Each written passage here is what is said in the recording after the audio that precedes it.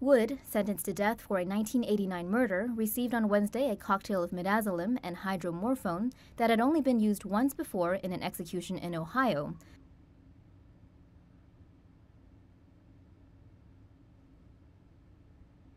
Officials administered Wood the lethal injection at 1:52 p.m.